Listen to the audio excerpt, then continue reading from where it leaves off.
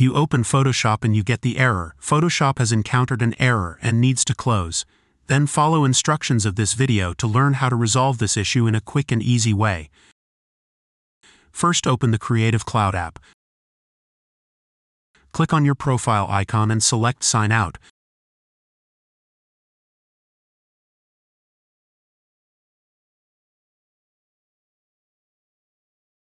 Press Continue.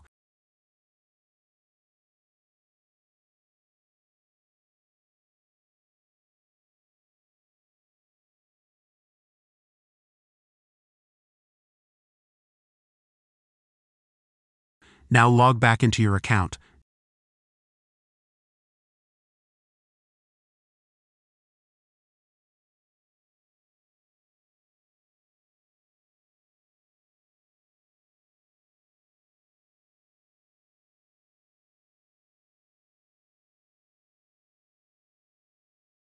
Now launch Photoshop.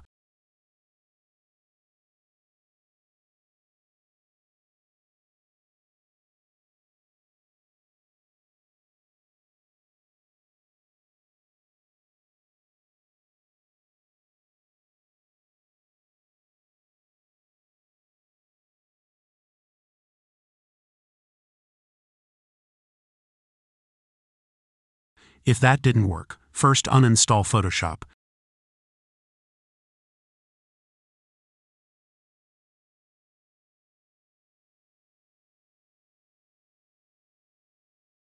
Press the Windows key plus R type app data and then press OK.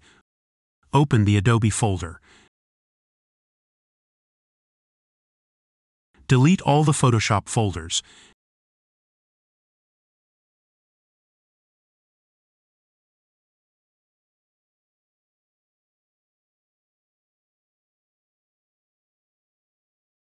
Now download Photoshop again.